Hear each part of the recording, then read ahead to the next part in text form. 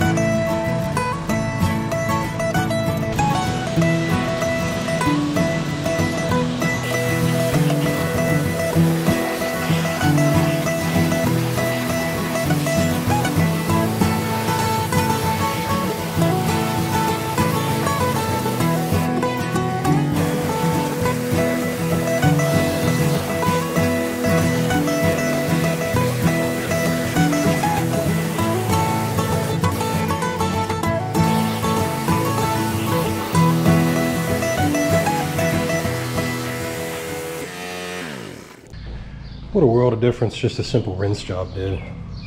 Look at all the crap that came off the windshield. There's still just a layer of like thick dirt on it, but it comes right off. Oh, I'm really curious to see how this thing cleans up. I think there'll be hope for it. I really do. I lost one of my tail light covers. Seven years in the sun. Makes sense. I'm actually going to grab a bucket and wash it real quick so I can pull it in the garage and do some test uh, some test uh, panels with it later with the buffer. So let me grab a bucket and some suds.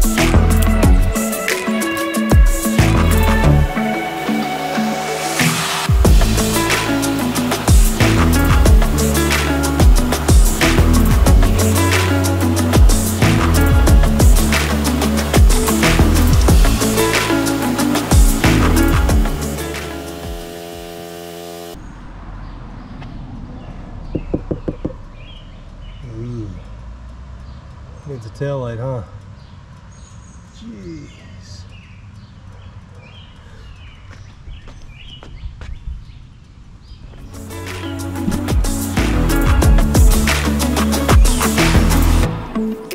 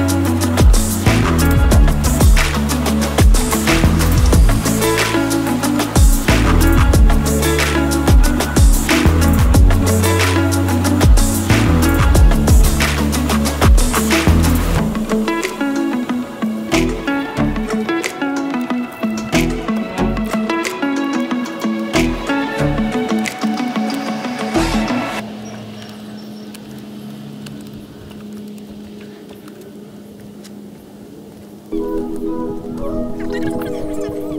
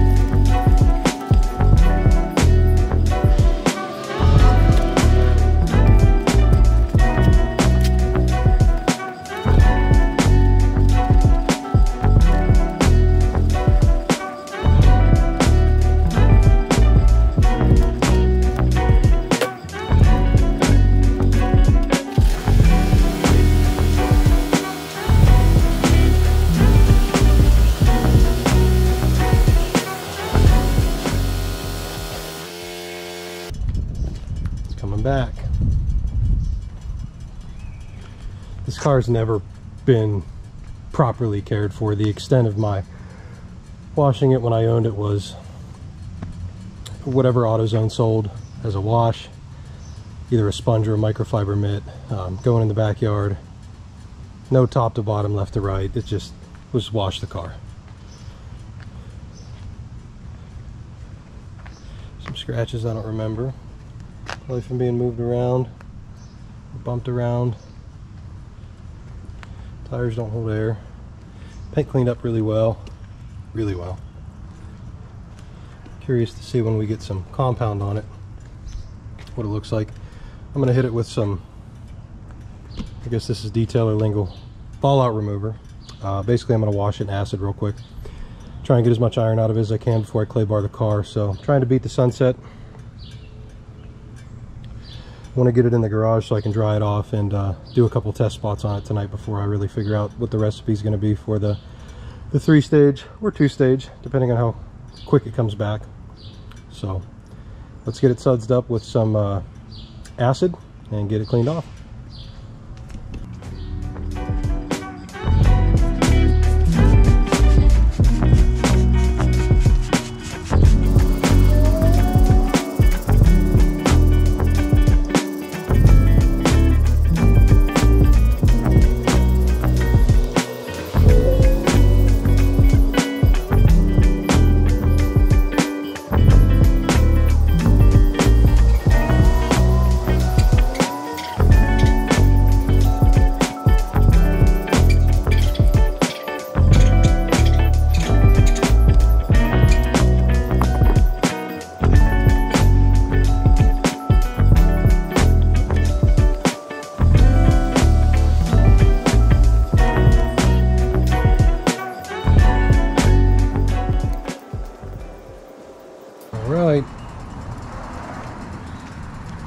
Theoretically decontaminated.